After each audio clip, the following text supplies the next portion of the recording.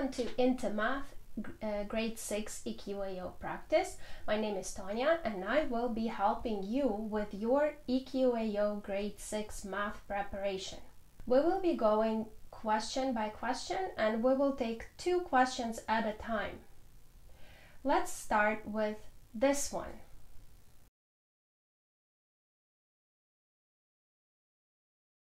So this is the question of the place value. Place value is the position of the digit within a number.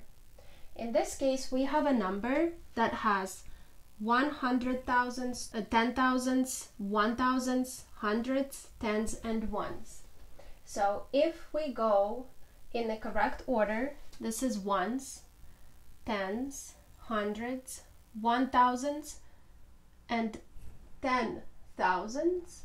That means that this number has a value of 20,000. So this 0 matches that, this 8 matches that, 3, 8, and this to that. Here you go. So the correct answer to this question will be C.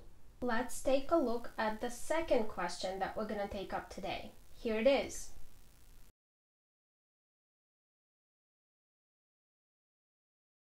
So for this question, you're being asked to find the value of b that will make both sides of this equation equal to each other. An equation is an equality that contains an unknown, in this case b, that has to be found in order to make this equality balanced. So what do you need to divide by 4 to make it equal to something, subtract 12. Once you're given the possible answers, you can use the process of elimination here. So your possible answers for B are 3, 8, 16, and 48.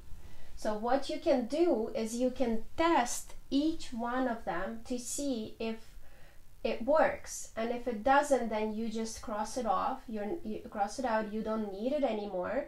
You know it doesn't work and you use only the one that works.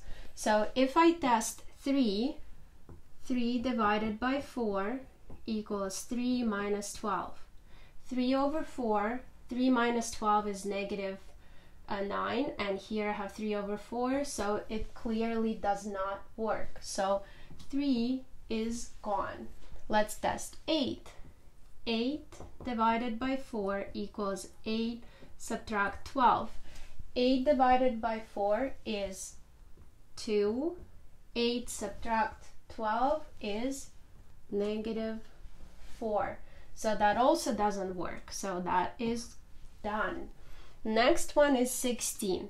Let's test 16 divided by 4 and see if it's equal to 16 minus 12. 16 divided by 4 is 4. 16 subtract 12 is also 4. Yay, we got the right answer. Here it is, 16. I know that there's only one possible answer, so I will choose that one and eliminate the 48. You can always use the process of elimination when working on EQAO questions like that, especially when it comes to equations or other things where you can substitute the number. Or you can try to rearrange this equation, which might be a little bit trickier. In the next uh, episodes, we will look at some other uh, questions that involve figures and patterns and uh, we'll use the process of elimination again, possibly, if we are able to, and we'll look at other ways of solving these questions. Don't forget to subscribe to our Instagram, YouTube channel right there, and uh, our other social media. We're everywhere.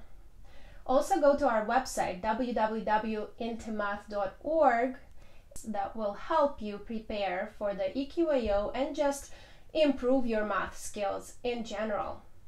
See you next time!